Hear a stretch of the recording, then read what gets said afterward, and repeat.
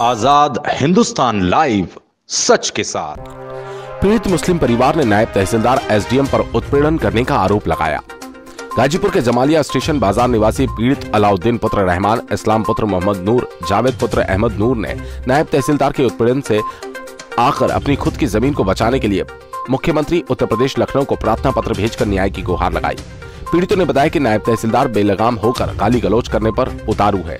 वहीं जबरिया दबाव बनाकर खुद की भूमि से आटा चक्की, लोहे, पारिया का दुकान तथा अपना सब रिहायशी सामान हटाकर जल्द से जल्द ज़मीन को खाली करने की हिदायत देते हुए बुलडोजर चलवाकर सभी सामान को नष्ट करा देने की धमकी दी।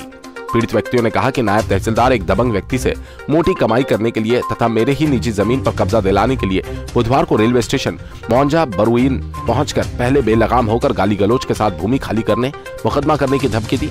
जब इसकी शिकायत एसडीएम कार्यालय पहुंचकर की गई तो उल्टे मुकदमा करने की धमकी देते हुए कार्यालय से भगा दिया। क्या मुसलमान इस देश का नहीं?